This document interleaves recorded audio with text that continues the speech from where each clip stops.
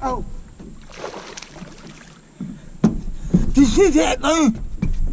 Oh, there you go.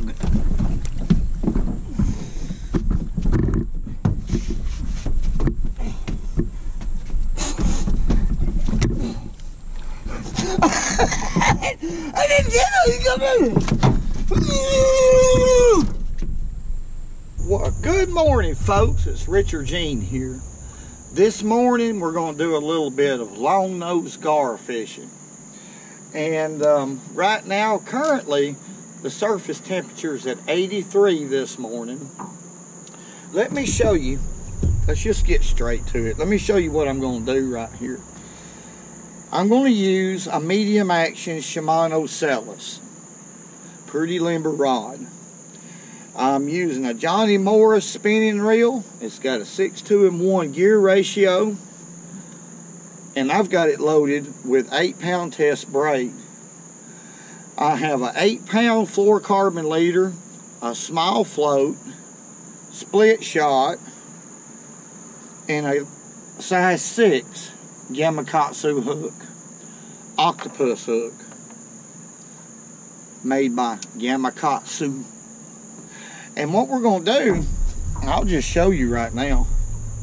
Simple way to catch long nose gar, a lot of fun. And yes, I'm fishing a little bit light. I'm to start off with a thread fin shad, a small one, real small. That that thread fin is probably about an inch and three quarter long.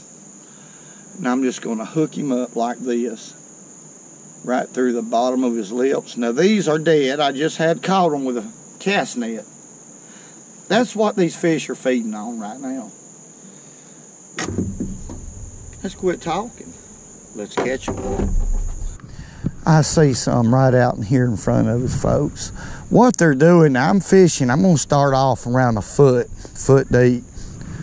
Let's make us a cast. What they're doing is they're coming up, then going back down. That's all they're doing. Coming up and going down. And I may have to anchor right here, but I don't think so because there's a lot of gar in this area. Matter of fact, right here in front of me, there's a bunch of them coming up. And a lot of these are big, real big. I don't see my cord.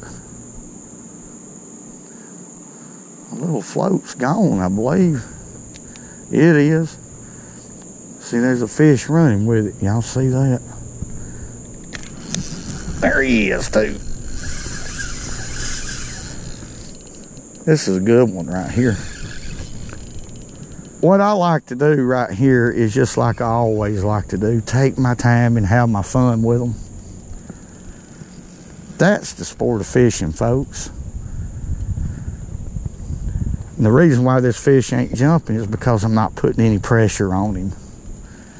I want him to wear out before I get him in this net, I guarantee you.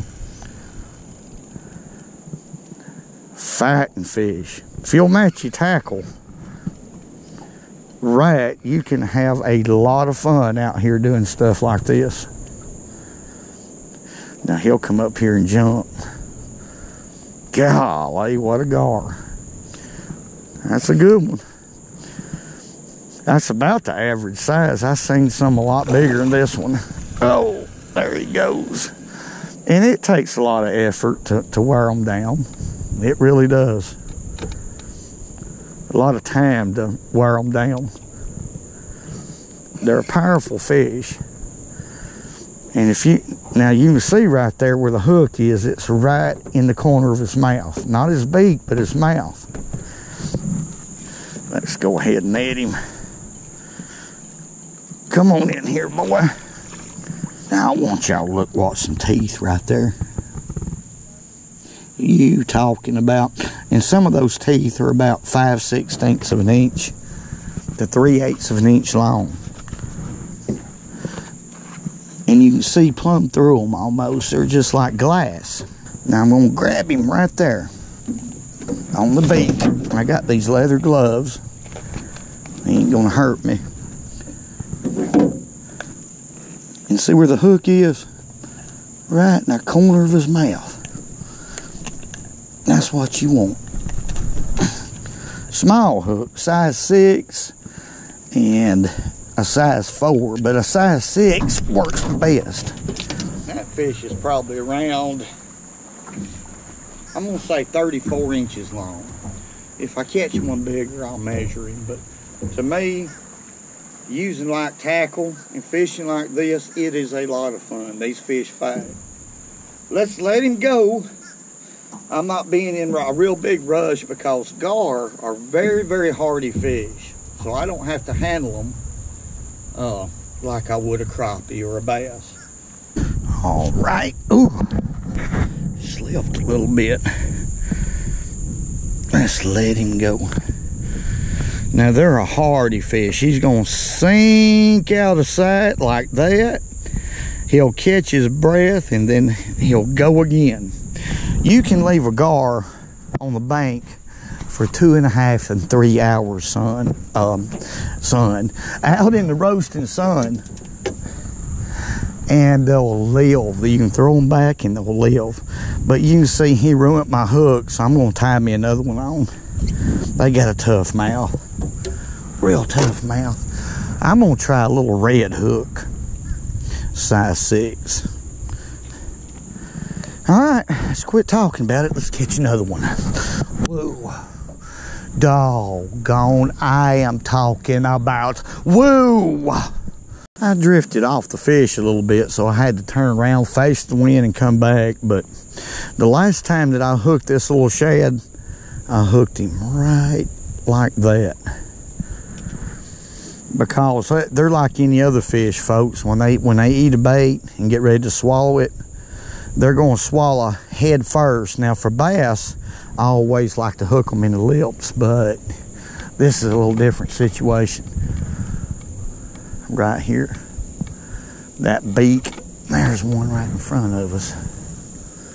Let's just make a cast out there. I may be back in them. Yeah, and there's another one right there. There it goes. Alright. Let's say three, four, five, six, seven, and eight. There he is. It'll work every time. This one right here don't really know he's hooked yet. Let me loosen this drag off. He does now.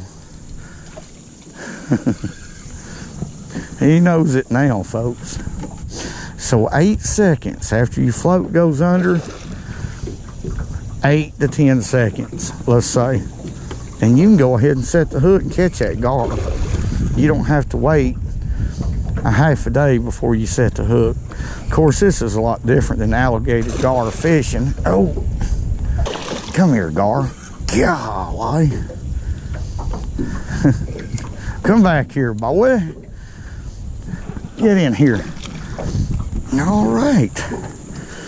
Let's put him right there on the bucket. I'm trying not to get her boat. Now, see, I just barely got him, folks. Right there. That's good enough, ain't it? That hook should just, yeah, just come out. Beautiful, though. Beautiful fish. Just let him go. Look at that tail.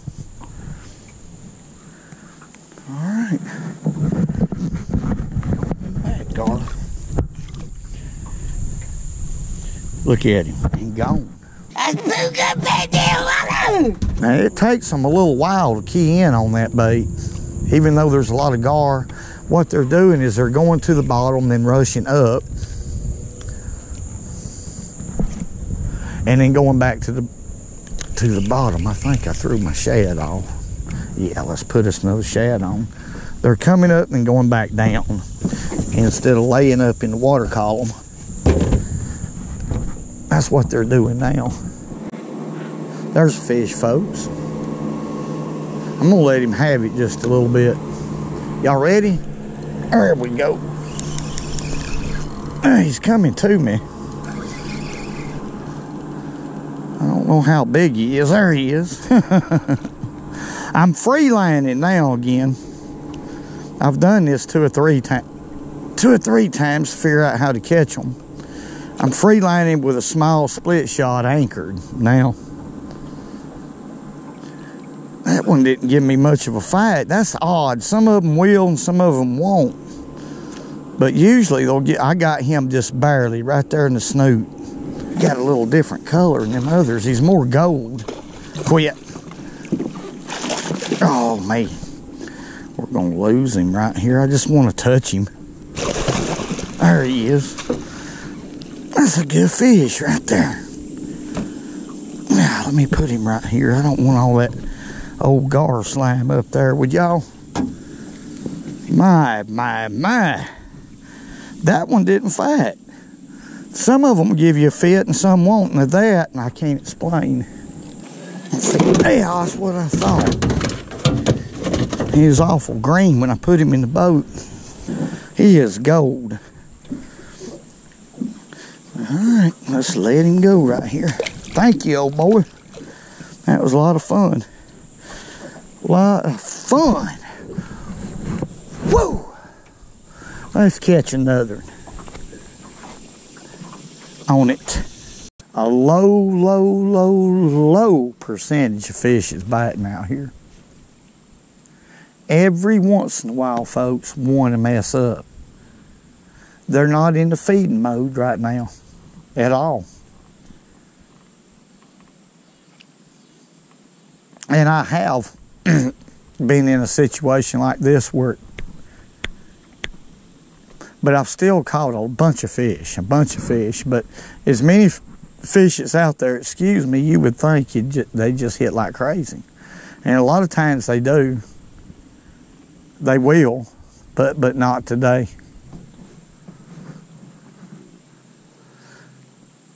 He's got it, swimming with it like crazy. Let's give him a few more seconds and we'll put the steel to him, folks. I want y'all to help me. Y'all ready? All right. We got the steel to him.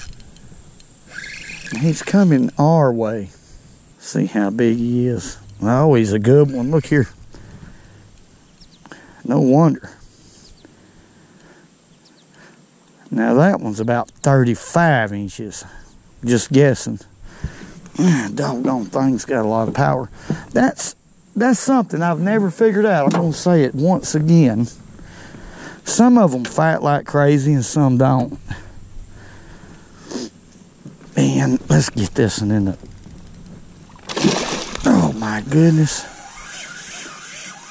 See what I mean? That's powerful fish. I don't know where he's going, but he does. He knows.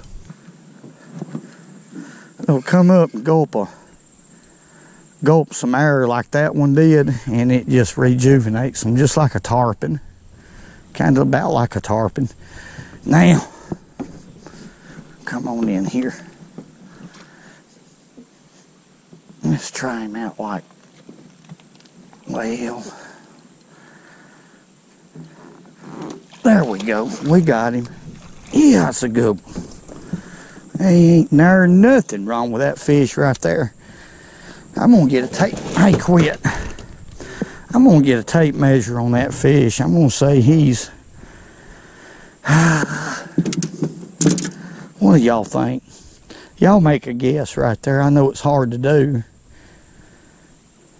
I'm gonna say it's 34 inches. Let's see what we got. Quit. All right, let's jam him up. Looky there.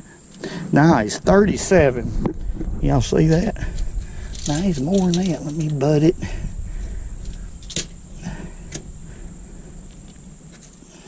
Well, let's call him 36. 36 and a half. 36 and a half. That's a pretty good gar right there, folks. That's a pretty good one. Uh, there's some in here bigger. A lot bigger. You know, at least three or four inches and maybe more than that. They get big. Let's let this one go. Thank you a lot, you fatting thing. Got him a gulp of air, now he's gone. See what I mean? Powerful, powerful fish. I tell you, old Clarence, he shaved that hair on his back, or his wife did, but he left some right there at the base of his neck on the back. Them things is at least two and a half inches long. Oh, long, black, black, black hair. I want to say God bless each and every one of y'all. I love each and every one of y'all. Every one of you. Hey. Doggone it. Woo! I'm talking about woo! And remember, go fishing when you can because it's good for you.